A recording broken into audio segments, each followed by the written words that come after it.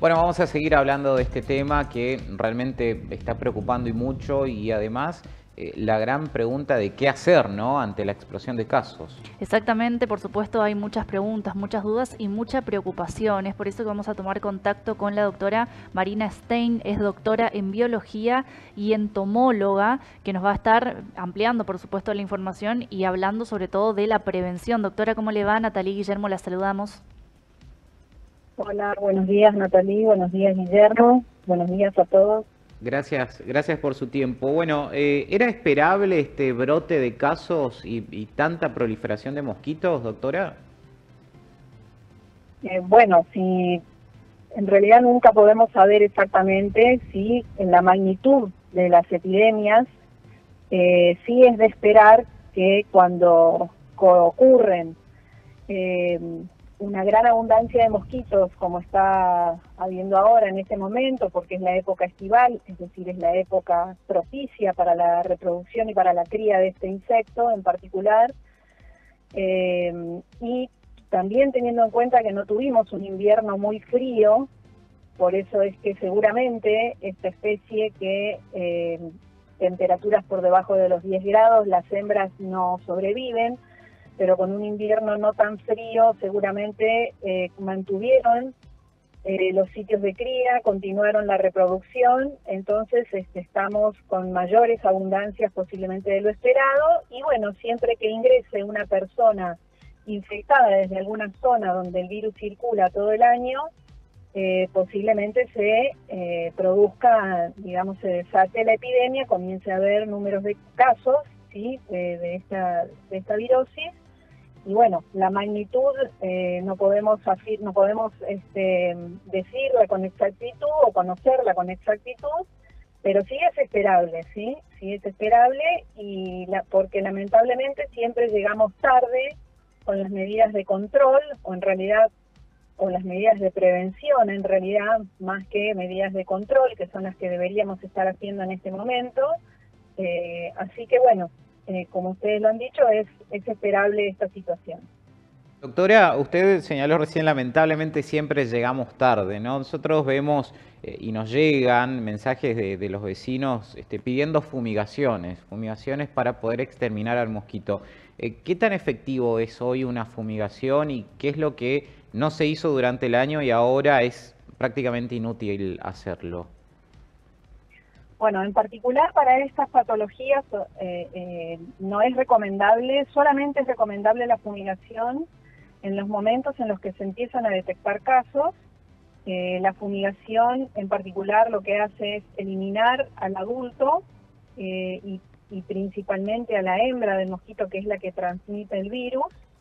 y se realiza en el momento en que se detecta un caso, eh, una, un tratamiento, digamos, una, o se, realiza, digamos, una fumigación local o focal eh, sobre la manzana del caso y las manzanas aledañas o de los casos este, que vayan ocurriendo.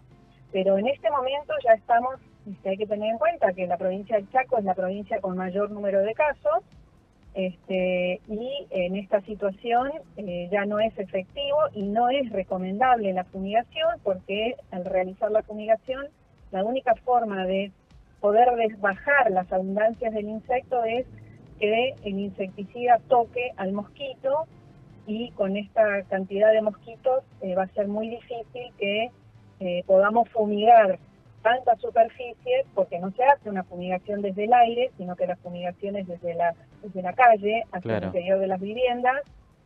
Entonces va a ser muy difícil que podamos este, lograr el objetivo que es reducir las poblaciones del mosquito adulto, ¿no?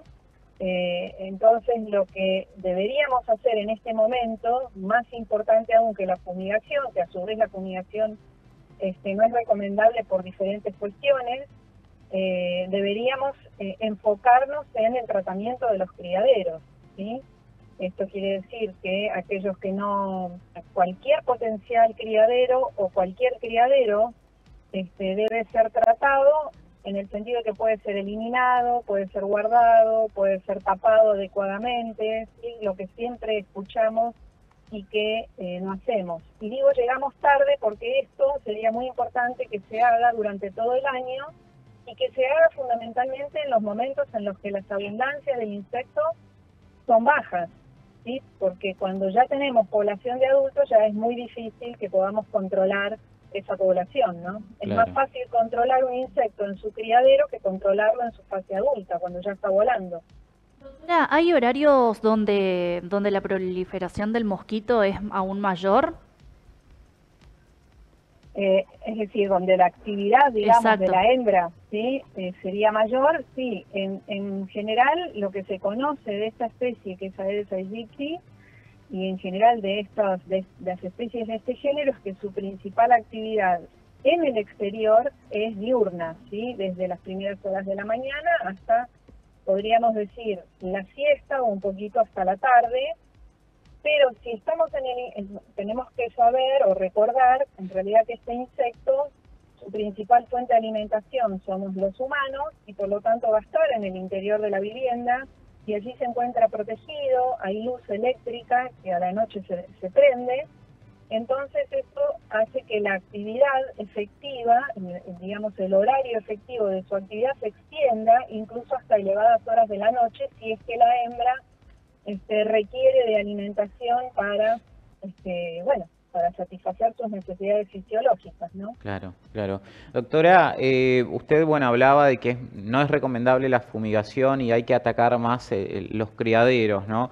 Eh, circuló la versión, no sé si es correcta o no, de que la hembra infectada ya este, pone huevos y nacen mosquitos infectados con el virus del dengue. ¿Esto es así? Bueno, en realidad hay estudios de laboratorio, eh, muy pocos estudios de laboratorio, que han demostrado que una baja proporción del virus eh, de un, desde, la, desde las hembras, digamos, infectadas puede ser transmitida a su descendencia. Eh, de lo que no se sabe es si efectivamente esa descendencia al nacer es decir, después de pasar por el estadio larval, pupal, y al, y al llegar al estado adulto, nuevamente ser hembra, alimentarse, puede efectivamente transmitir este virus, ¿sí? Porque la, para que pueda ser transmitido y efectivamente el virus pueda replicarse en el hospedador vertebrado, que en este caso principalmente somos los humanos, casi exclusivamente diríamos los humanos, eh, la carga viral que esté en la saliva del insecto debe ser elevada o suficiente como para poder llegar a nuestros vasos sanguíneos y allí replicarse, digamos, en, las personas, ¿no? Entonces, este, y por otro lado, la proporción de descendencia infectada tampoco se conoce cuál podría llegar a ser. Entonces, esa no es, se denomina transmisión vertical. Eh, no podría yo en este momento afirmar que es una de las vías importantes de transmisión del virus.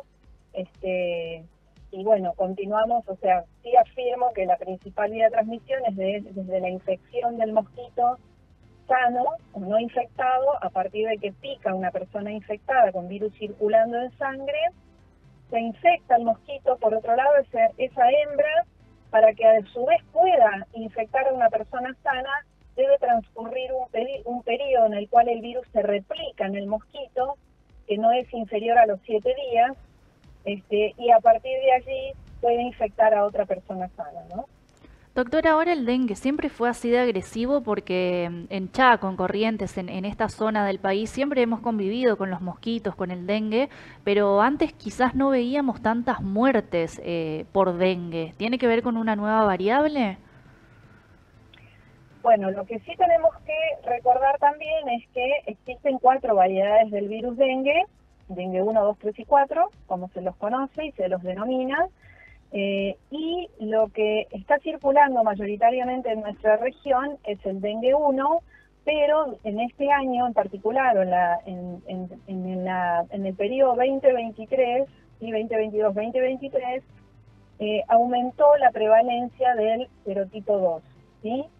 Eh, y recordemos que existe, en el caso de que una persona ya haya sido infectada con un tipo o una variedad de virus dengue y desarrolló ya los anticuerpos contra ese virus, por lo tanto, si se vuelve a infectar con esa variedad no va a enfermarse porque ya tiene los anticuerpos, pero, si se infecta con otra variedad de virus dengue, tiene una mayor probabilidad de desarrollar las formas graves de la enfermedad. Esto no, no, no quiere decir que sí o sí sea así, de esta manera, pero la probabilidad es mayor.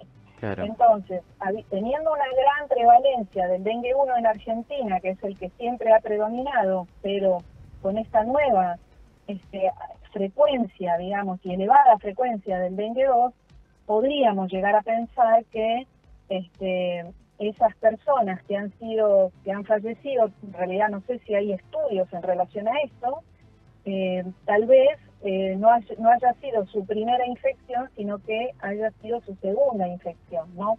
Ahora, esto no quiere decir que si una persona se infecta con, por primera vez con una variedad, no pueda desarrollar la forma grave de la enfermedad, como sabemos que sí ocurre, ¿no? Entonces, podría llegar a ser una explicación. Pero por otro lado, hay que tener en cuenta que el dengue es, una enfermedad, una patología que no tiene un alto porcentaje de mortalidad, como puede ser la fiebre amarilla, este, aunque para eso tenemos vacuna, por suerte, ahora tenemos la vacuna contra el dengue, eh, pero si no es atendido a tiempo, eh, esa persona puede empezar a desarrollar sintomatología grave y sí desencadenar la muerte. Entonces, la importancia del sistema sanitario en estas cuestiones y de ciertas medidas para que el sistema no colapse, ¿no?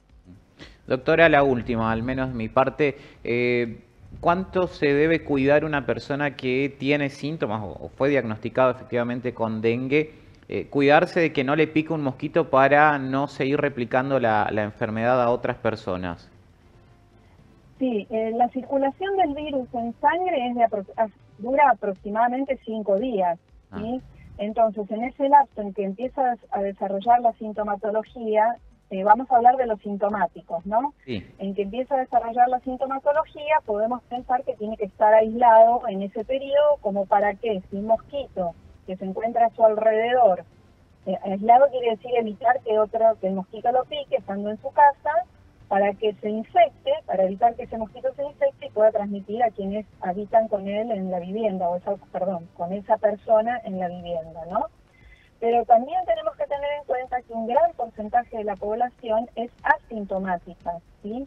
Esto quiere decir que no desarrolla ningún tipo de sintomatología, por lo tanto puede estar el virus circulando en sangre y no sabe que tiene dengue y un mosquito sano la hembra lo pica, se infecta y es transmisora este, hacia otra persona susceptible, ¿no?